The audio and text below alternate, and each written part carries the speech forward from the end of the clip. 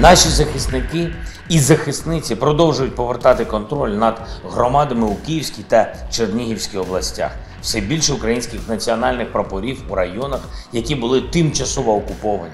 Збройні сили України не відпускають загарбників без бою, наносять вогневе ураження, знищують усіх, до кого дозволяють дотягнутися наші можливості.